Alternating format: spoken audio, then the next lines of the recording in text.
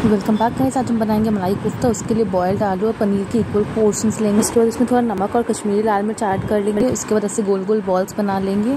उसके बाद इसे कोट करेंगे मैदे से या कॉर्नफ्लावर से। एंड जब ऑयल बहुत ज़्यादा गर्म हो जाएगा तो उसमें इसे डाल देंगे। अब आता है मेन चीज़ की इसे फ्राई कैसे करना है। उसके लिए आप पहले ऑयल ऊपर डालेंगे कोफ्ते के। देखिए जैसे मैं डाल रही हूँ, उसके बाद उसे पलटेंगे धीरे धीरे और एकदम जब डार्क गोल्डन ब्राउन हो जाए, तब उसे बाहर निकाल दीजिएगा। और आपके कोफ्ते बन के रेडी है। दूसरी तरफ़ मैंने टमेटो ऑनियन ग्रीन चिली और गार्लिक को अच्छे से बॉईल कर लिया। उसके बाद उसे मिक्सी में चॉन करेंगे।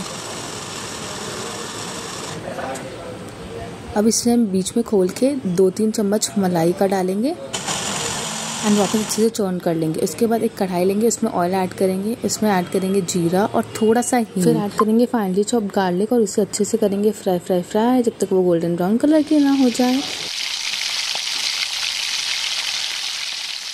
बस अब इसमें हम ऐड करेंगे अपनी ग्रेवी और करेंगे मिक्स मिक्स मिक्स